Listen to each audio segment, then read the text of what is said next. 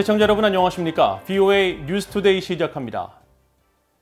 미국 대선 승리를 선언한 바이든 전 부통령은 영국과 프랑스 등 6개국 정상들과 전화 통화를 했다고 밝혔습니다. 도널드 트럼프 대통령의 불복 입장에 대해서는 자신도 당황스럽다며 대화를 요구했습니다.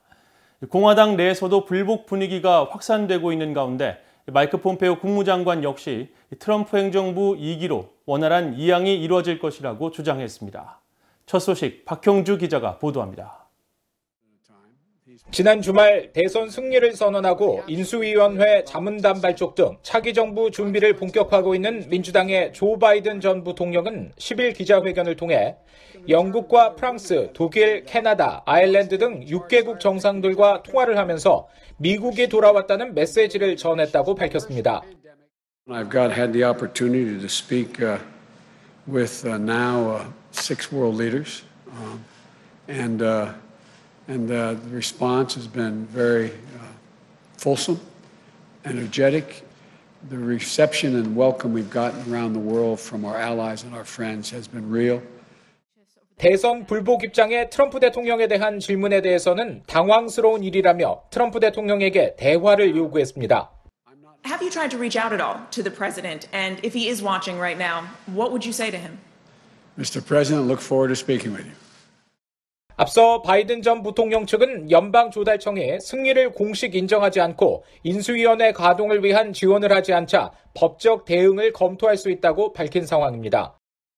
지난 5일 대선 불복을 시사한 기자회견 이후 트위터를 통해 지속적으로 입장을 밝혀온 트럼프 대통령은 10일에는 큰 진전을 이루고 있으며 다음 주부터는 결과들이 나오기 시작할 것이라며 우리가 이길 것이라고 글을 올렸습니다. 막판 역전패를 당한 위스콘신, 미시간, 펜실베니아 주 등에서 제기한 선거 관련 소송에서 자신에게 유리한 결과가 나올 것이라는 주장으로 해석됩니다. 마이크 폼페오 국무장관은 기자회견에서 정권 이양 지연과 국가안보 위험에 대한 질문을 받고 트럼프 행정부 2기로 원활한 이양이 이루어질 것이라며 헌법에 따른 선거 절차를 강조했습니다. There will be a smooth transition to a second Trump administration. We're going to count all the votes. When the process is complete, there'll be electors selected. There's a process. The Constitution lays it out pretty clearly. 마이크 펜스 부통령 역시 전날 자신의 트위터를 통해 끝날 때까지 끝난 게 아니다며 트럼프 대통령은 우리를 위해 싸우는 것을 멈추지 않을 것이라고 말했습니다.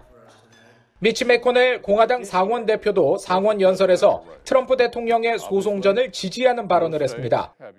And President Trump is 100% within his rights to look into allegations of irregularities and weigh his legal options.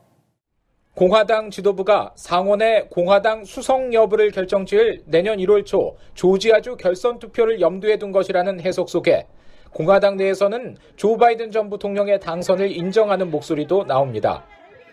미트 롬니 등 공화당 상원 의원 4명은 민주당의 조 바이든 전 부통령에 대해 축하 성명을 발표했습니다. 또 지난 2000년 미국 대선에서 플로리다주 재검표 소송 논란을 경험했던 조지 부시 전 대통령은 8일 성명을 통해 바이든 후보의 승리를 축하했습니다. 부시 전 대통령은 다만 트럼프 대통령도 재검표를 요청하고 법적 도전을 추진할 권리가 있다고 밝혔습니다. VOA 뉴스 박형주입니다. 이런 가운데 마이크 폼페오 미국 국무장관은 로널드 레이건 전 대통령 기념 재단 행사에서 자유와 인간의 존엄성을 강조했습니다.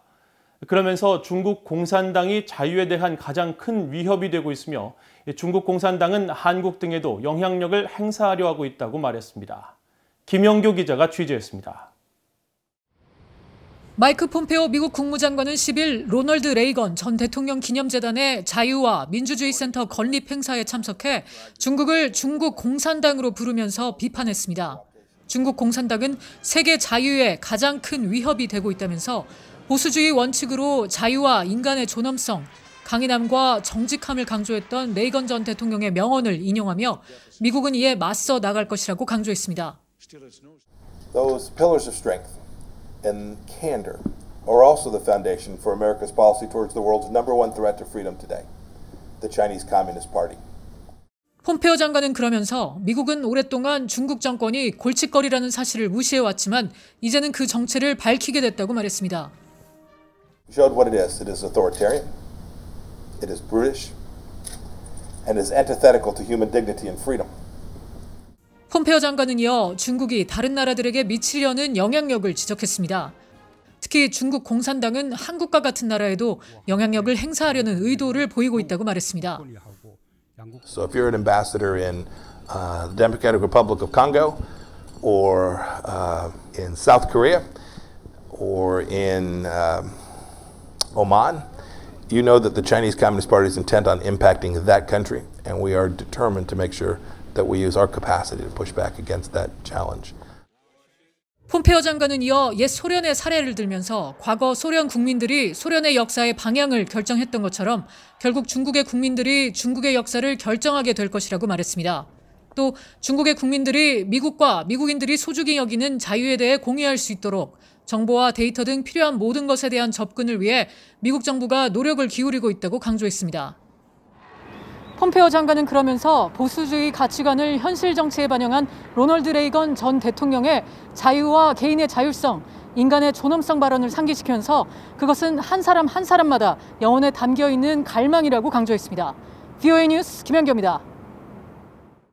유엔 헤비타트, 유엔 인간 정주 계획은 10일 2020 세계 도시 보고서를 통해 북한 주민 1,612만 명이 평양 등 도시에 살고 있다고 추정했습니다. 이는 한국의 도시 거주 인구 비율 81.4%와 비교해 19%포인트 낮은 수치이며 세계 평균인 56.2%와 아시아 지역 평균 51.1%보다는 높습니다. 이와 관련해 제롬 소바주 전 유엔 개발계획 평양사무소장은 10일 BOA에 석탄 등을 보유한 북한은 1950년대에서 60년대 농촌보다 산업 중심국으로 여겨져 왔으며 1980년대 들어 산업화와 농촌 기계화에 따라 도시 거주율이 점증했다고 말했습니다. 소바주 전 사무소장은 그러나 북한은 도농 지역 간에는 빈곤 격차뿐 아니라 전기와 수도, 의료 수준 차가 매우 큰 문제가 있다면서 북한 내 지방 산모 사망률과 어린이 저체중률은 도시 지역보다 3배 이상 높다고 지적했습니다. 북한의 식량 불안정 상황에 대한 우려가 여전하며 신종 코로나 바이러스 사태로 인해 식량 안보가 더 큰 위협을 받고 있다고 유엔 산하 기구들이 지적했습니다. 유엔 산하 세계 식량 계획 WFP와 식량 농업 기구 FAO는 최근 발표한 전 세계 국가들의 식량 안보 상황을 평가한 공동 보고서에서 신종 코로나 바이러스 감염증 사태 여파로 북한이 국경을 봉쇄하면서 이로 인한 경제적 제약이 북한 주민들의 식량 불안정과 취약성을 더욱 증대시켰다고 설명했습니다. 또 올해 잦은 폭우와 홍수, 태풍 등 자연재해가 잇따르면서 식량 불안이 북한 내 주민들 사이에 만연해 있다고 덧붙였습니다. 보고서는 또 아프리카의 나이지리아와 부르키나파소, 남수단을 비롯해 중동의 예멘 등 4개국을 심각한 식량 불안정을 겪고 있는 기근 경보 국가로 지정했으며 북한은 경보 국가 지정을 위한 충분한 정보가 없어 지정에서 제외됐다고 밝혔습니다. 한국군이 잠수함 발사 탄도미사일 SLBM의 수직 발사대를 탑재한 3,000톤급 중형 잠수함을 4년 만에 진수했다고 밝혔습니다. 한국 해군은 10일 사회연결망 서비스에 진수식 모습을 공개하고 서욱 국방부 장관의 주관 아래 두 번째 3,000톤급 중형 잠수함 안무함을 진수했다고 전했습니다. 길이 83.3m, 폭 9.6m의 디젤 잠수함인 안무함은 공기 부료 시스템을 갖춰 구형 잠수함과 달리 수면 위로 부상하지 않고 수중 작전이 가능하고 동급인 도산 안창호함과 같이 SLBM 발사관이 6개인 콜드런치 방식 수직 발사대를 갖췄으며 전투 체계와 소나 체계 등이 개선된 것으로 알려졌습니다. 안무함은 1920년대 청산리 전투의 주역으로 독립운동을 이끈 안무 장군의 이름을 따왔으며 서 장관은 축사를 통해 한국군은 확고한 군사 대비 태세를 유지하고 강한 힘으로 북한의 비핵화와 항구적 평화 정착을 지속적으로 뒷받침할 것이라고 강조했다고 한국 해군은 전했습니다. 이상으로 VOA 뉴스투데이를 마칩니다. 시청해주신 여러분 고맙습니다.